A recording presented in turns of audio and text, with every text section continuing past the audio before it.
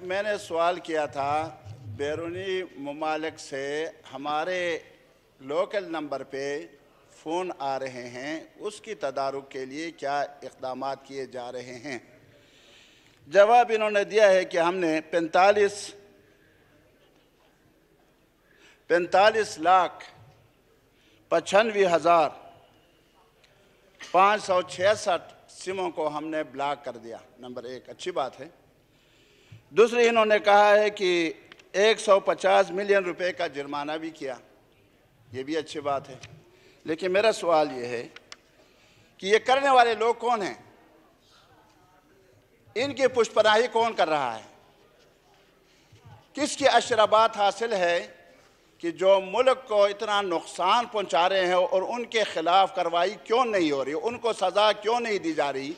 अगर सज़ा दी गई है तो वो हमें बता दें कि उनको नौकरियों से बर्खास्त किया गया है उनको जिलों में डाला गया है ये हमें बता दिया जाए। जनाब उसामा कादरी साहब। बहुत शुक्रिया स्पीकर साहब। इस सिलसिले में इनका आ, सवाल जो है बिल्कुल हकीकत पसंदाना है लेकिन मैं थोड़ी सी इसमें डिटेल बताना चाहूँगा। क्योंकि ये जो है पीटीए जो है वो इस वक्त काम कर रहा है कैबिनेट डिवीज़न के मातहत काम कर रहा है।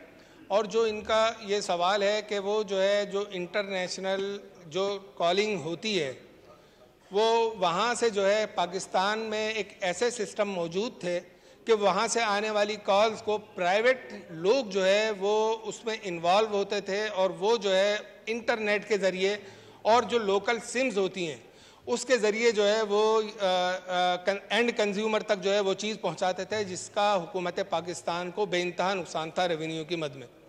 इस सिलसिले में अगर मैं आपको थोड़ी सी डिटेल दूँ तो इसमें जो है ये आती है कि जनवरी 2020 में तकरीबन 45 लाख सिमें जो हैं वो इसमें इस्तेमाल हो रही थी जनवरी 2020 में। लेकिन ग्रेजुअली कम होते हुए ये जुलाई 2022 की फिगर मेरे पास मौजूद हैं। इस जुलाई 2022 तक जो है 17,000 सिमें इस्तेमाल हो रही हैं। अच्छा लेकिन आज जो अगर हम नवंबर में खड़े हैं तो मेरे हिसाब से 11 से बारह हज़ार सिमें जो हैं, वो इस वक्त इस्तेमाल हो रही हैं। जहाँ तक सदा का ताल्लुक है, मैं अभी उन इदारों के नाम नहीं लूँगा, लेकिन 150 मिलियन रुपीस जुर्माना जो है, वो उन सेलुलर कंपनियों के ऊपर लगाया किया गया है कि जो सिमें इसमें इस्तेमाल हो रही थी।